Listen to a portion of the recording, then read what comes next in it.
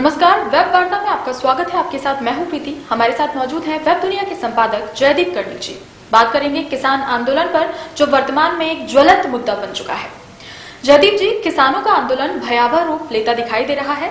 यहाँ पर एक ये बड़ा प्रश्न है कि राजनीतिक पार्टी के तौर पर अगर देखा जाए तो क्या किसान आंदोलन के मुद्दे को राजनीतिक पार्टियाँ भुना रही है? हर तरीके से। जहाँ भारतीय जनता पार्टी कोशिश कर रही है कि ये राजनीतिक नुकसान उनका ना हो, वहीं कांग्रेस कोशिश कर रही है कि उनको राजनीतिक मुनाफा हो जाए। इस नफे नुकसान की सारी भागदौड़ के बीच में ना तो किसान को उसका हक मिल पा रहा है, ना आम जनता तक सारी सुविधाएँ पहुँच पा रही, दूध, सब्ज़ी, फल के लिए वो तरस गए हैं। तो देखा जाए तो किसान और आम जनता अभी भी परेशान है और राजनेता इस पर अपनी रोटियाँ सेकने में लगे हैं। देखिए, किसानों की जो मूल समस्याएँ हैं, वो बहुत गंभीर हैं और वो अलग तरीके की हैं। किसान आजकल इस देश में एक ऐसा शब्द हो गया जिसका इस्तेमाल बड़े बड़े फिल्मी सितारे तक करते हैं, क्योंकि वो कुछ फ़ायदे सरकार के उठाने के लिए खुद को किसान कहलवा लेते हैं। किसान है कौन दरअसल?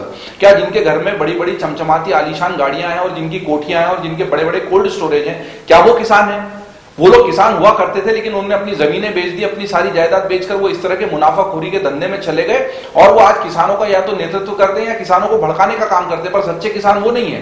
वो उनके आगे तीन पीढ़ियों के लिए पैसा कमा चुके हैं, उनके घरों में गाड़ियों की कतारें देख के आपको समझ में आ जाएगा कि ये किस तरह के किसान है, क्योंकि उनको टैक्स नहीं भरना पड़ता, कर्ज भी वो माफ़ करवाना चाहते हैं। दूसरी तरफ़ एक सचमुच वो किसान है जो लगातार केवल खेती करके सब्ज़ियाँ उगाकर, फ़सलें उगाकर अपना जीवन यापन करता है। उस किसान की जो सचमुच की समस्या है, वो इन आड़तियों, बिचौलियों और ठेकेदार और धन्ना सेठ किसानों की वजह से छुप जाती है। तो किसानों का सच्चा प्रतिनिधित्व सामने नहीं आता। जो जमीनी किसान है, वो इन बड़े किसानों द्वारा बरगलाए जाते हैं, भड़काए जाते हैं और हालात बेकाबू हो जाते हैं। अभी उनकी आप मांगों को देखिए। सबसे पहली मांग तो उनकी कर्ज माफ़ी की है।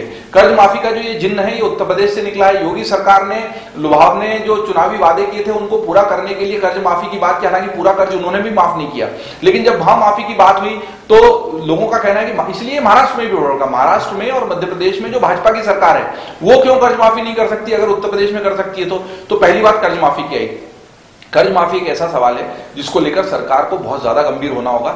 जब आप माल्या जैसे बड़े उद्योगपतियों का कर्ज माफ़ कर देते तो किसान निश्चित तौर पर ये सवाल पूछेगा, फिर हमारा कर्ज माफ़ क्यों नहीं हो रहा?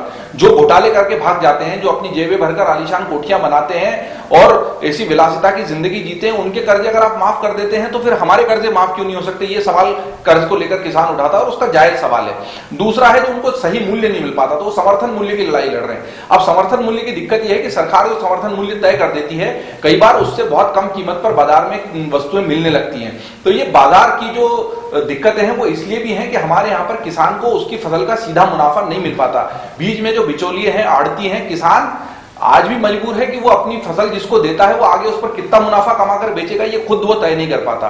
दूसरी ये दिक्कत है कि कोई फ़सल मान लीजिए ज़्यादा हो गई तो उसी फ़सल का जिसने संग्रहण कर रखा है, भंडारण कर रखा है, कोल्ड स्टोरेज में रख रखा है, उसको समझ में आता है कि मुझे इस भंडारण से अब लाभ नहीं होने वाला क्योंकि फ़सल ज़्यादा हो गई तो वो अपने भंडारण किए हुए उस अन्न को भी बाहर निकाल देता है। दोनों मिलाकर उस वस्तु का बाज़ार मूल्य बहुत गिर जाता है। इस वजह से किसान को उसकी कीमत नहीं मिल पाती, उसकी लागत भी नहीं निकल पाती। तो किसान की असली दिक्कत यह है। इसके लिए सरकार को चाहिए कि केवल समर्थन मूल्य तय कर देने से यह मसला हल होने वाला नहीं है। उनको बिचौलियों और आड़तियों की वो व्यवस्था खत्म करनी पड़ेगी, जो किसान का मुनाफा खा जाती है। तो इसके मूल में वो समस्याएँ हैं, जो किसान केवल कर्जा लेकर, अपनी बीज के लिए कर्जा लेकर, अपनी सिंचाई के लिए कर्जा लेकर फ़सल उगाता है, उसकी स्थिति निश्चित तौर पर दयनीय है, गंभीर है, और उसकी उस हालात को सुधारने की कोशिश की जाने। दूसरी तरफ़ ये जो धन्ना सेट हो चुके किसान हैं इन किसानों की दादागिरी को, इनके वर्चस्व को कम करने की कोशिश भी सरकार को ही करनी होगी।